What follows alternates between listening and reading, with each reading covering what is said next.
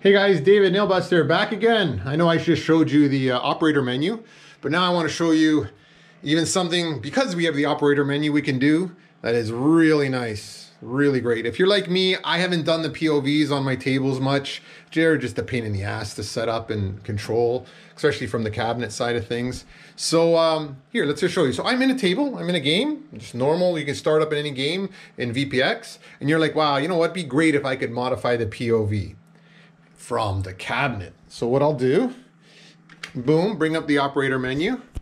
Now we're in the operator menu. I have a custom script and there's one right there, VPX edit, VPX POV edit. Now when I click that, what it'll do is it'll drop out of the game, launch the same game, but in a VPX special compiled exe I wrote that is just for POV on cabinets.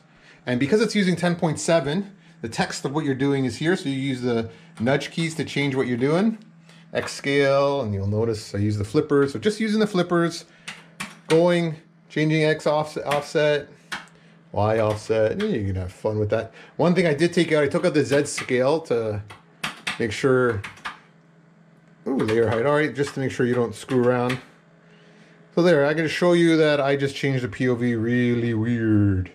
All right, so now Nice. Now because it's on the because it's just on the cabinet, I've set that custom exe where start game will save and close. Coin will cancel the changes and close. So let's say I just want to save it. So I'll go hit boom. It'll save it as a POV, so it hasn't touched your VPX or changed any of your VPX.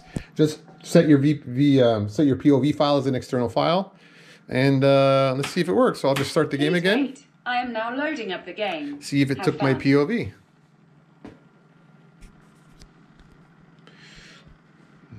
Did it work? Did it work? Did it work? Come on, come on, come on, come on. You can do it, and there it did. It took my POV changes. Great stuff. Great stuff. So all that is done through the operator menu, and yeah, you do need Popper for this to work. Alrighty, ciao.